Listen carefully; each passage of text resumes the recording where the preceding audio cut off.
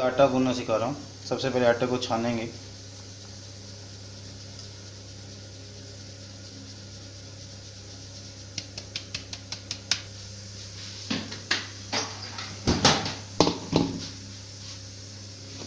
पानी डालेंगे। पानी हल्का कोसा होना चाहिए, नहीं तो डायरेक्ट भी आजकल डाल सकते क्योंकि फ़िल्टर का पानी वैसे ही हल्का गर्म कोसा ही होता है। इसको इस तरह डालने के बाद इसको इस तरह हिलाते रहेंगे। आटे को पहले पानी अच्छी तरह हिला लो, ताकि पानी इसके अंदर मिक्स हो जाए। कई लोग नमक भी डालते हैं, आप चाहो तो नमक भी थोड़ा सा डाल सकते हो इसमें। लेकिन मैं नमक नहीं डाल रहा हूँ, बिना नमक के इसको, आटे को गूंद रहा हूँ। अभी पानी नहीं डालना है तो कहीं ये ना कि पानी ज़्यादा हो जाए, और आप आटे को आटे को अच्छी तरह ना गूंद पाए। तो पहले थोड़ा सा मिक्स कर लें इसको। जैसे जैसे पानी की ज़रूरत होगी, हम वैसे वैसे इसमें डालते जाएँगे।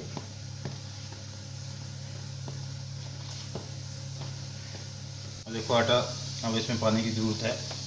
अब देखो ये टाइट होता जा रहा है। आपको मैं दिखा दे रहा हूँ, देखो टाइट हो गया अब इसमें थोड़ा पानी और डालेंगे। अब मैं दूसरे हाथ का भी यूज़ कर रहा हूँ। कि सिंगल हाथ से प्रॉपर वे में नहीं हो पा रहा है। मैं दूसरा हाथ भी यूज़ कर रहा हूँ। अच्छी तरह इसको मिक्स करना है। पानी भी डालना नहीं है, जो हाथ पे लग जाए उसको उतार लेना है।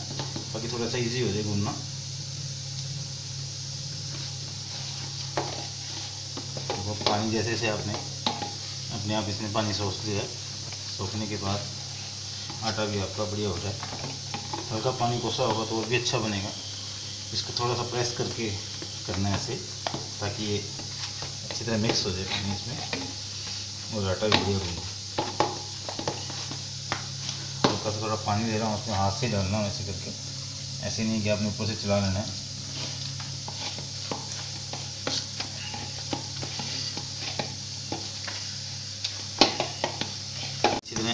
इस तरह है। आटा बढ़िया गूंदता जाएगा। अब पानी की ज़रूरत नहीं है इसमें। चारों तरफ़ से लगा लें हाथ में भी। तो बढ़िया गुना जाएगा।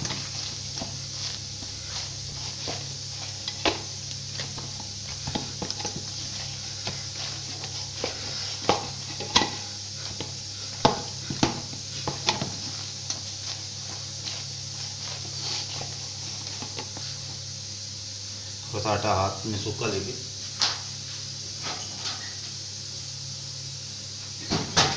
लास्ट में थोड़ा सा आटा हाथ में सूखा लेंगे इसको उतार लें हाथ में अच्छी तरह, ताकि हाथ भी आपके अच्छी तरह क्लीन हो जाए। और आटा उतर जाएगा।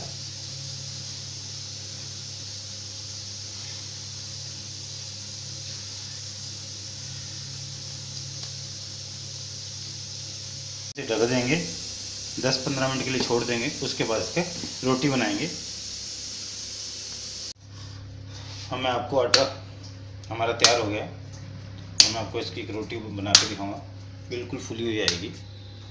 मैंने पेड़ा बना लिया है। इधर तवे को गरम करना स्टार्ट कर दिया उस पर थोड़ा घी भी गरम कर रहा हूँ।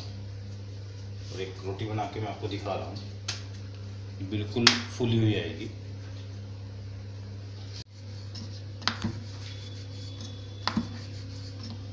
रोटी बना रहा हूँ। अब इसको मैं आपको बना के दिखाऊँगा जो मैंने अभी आटा बना था। बिल्कुल मुलायम रोटी बन रही है, देखो।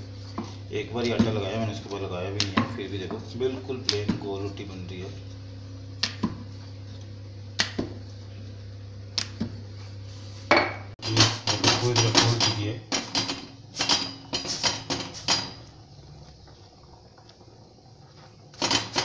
रोटी अच्छी तरह फूलने के बाद तैयार है।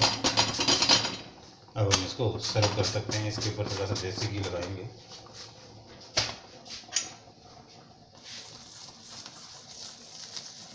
और ये आपकी रोटी तैयार है।